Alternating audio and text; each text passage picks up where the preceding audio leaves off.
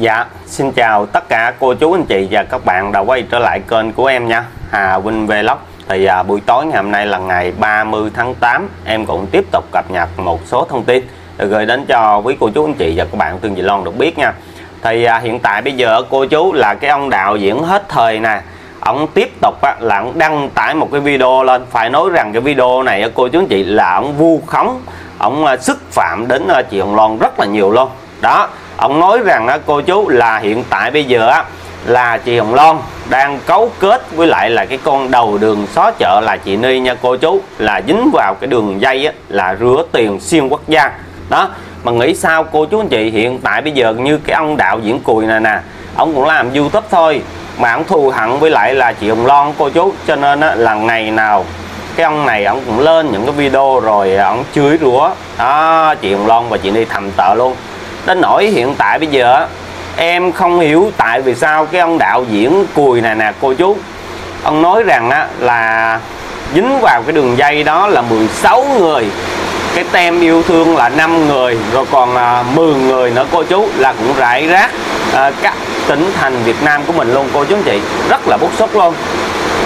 Rồi à, ông nói rằng á là hiện tại bây giờ á, là chị Hồng Loan đang à, cấu kết với lại là cái con đầu đường xó chợ đó. Rồi à, nó đẩy gia đình ruột thịt của nó đi ra khỏi nhà của gia đình ruột thịt gì cô chú. Gia đình ruột thịt mà tại sao à, cô Sáu lại đi làm như vậy với chị Hồng Loan cô chú anh chị mà cứ nói ra là gia đình ruột thịt của cố nghệ sĩ? Ủa không có gia đình ruột thịt nào á, mà ở nhờ 2 năm rồi à, à, đi nó tranh giành tài sản tranh giành cái căn nhà số 5 đoàn thì điểm của cố nghệ sĩ đỡ lại cho con gái đó là chị Hồng Loan hết á cô chú anh chị. Mà hiện tại bây giờ là cái ông đạo diễn cùi nè nè cái ông đạo diễn hết thời này nè cô chú anh chị. Đó em rất là bức xúc luôn.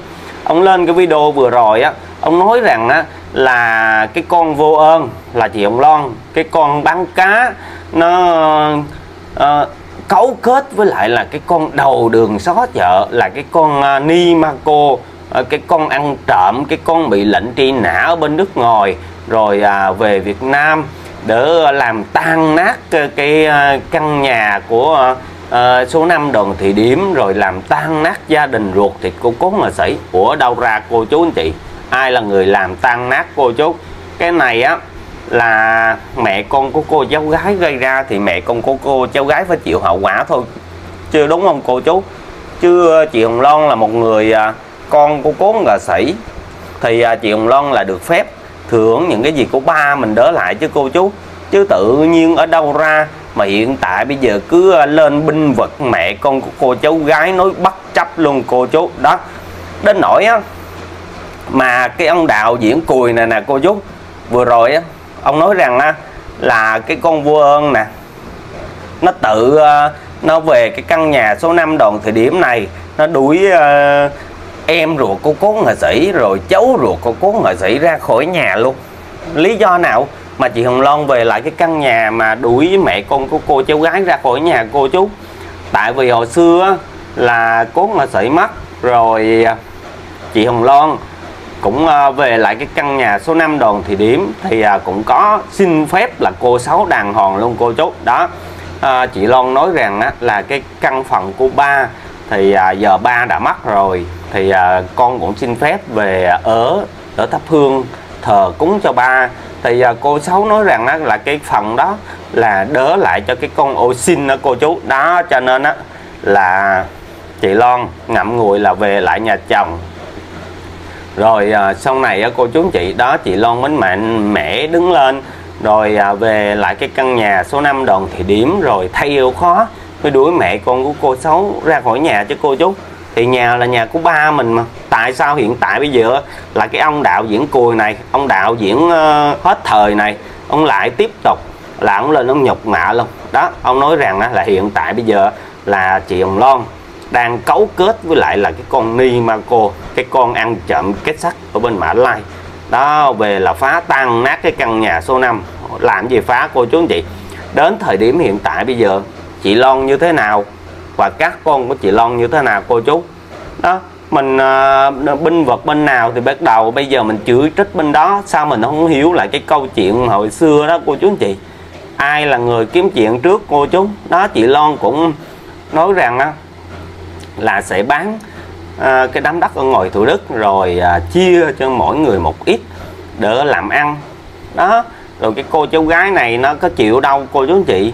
Nó đòi là đồng sở nó đòi là chia đôi ở đâu ra? Đó thì à, sau khi mà chị Hồng Loan không chịu á là bắt đầu nó mới xảy ra cái câu chuyện là tranh chấp tài sản giữa cái cô cháu gái khác họ và với lại là con gái của cố nghệ sĩ là chị Hồng Loan cô chú mà hiện tại bây giờ cái ông đạo diễn cùi này nè cứ ông suốt ngày ông lên. Rồi à, vừa rồi cái video của ông luôn cô chú chị em rất là bức xúc luôn. Ông nói rằng á, là tại sao cộng đồng mạng lại đi à, à, tung hô cái con à, ăn trộm cái sắt mà à, nó phá tan nát cái căn nhà số 5 luôn. Nó phá tan nát cái à, gia đình ruột thịt của cố nghệ sĩ luôn. Nó chia rẽ. Ai là người chia rẽ cô chú anh chị? Đó mà ông cứ đi nói nhờ, nhờ có chị Ni.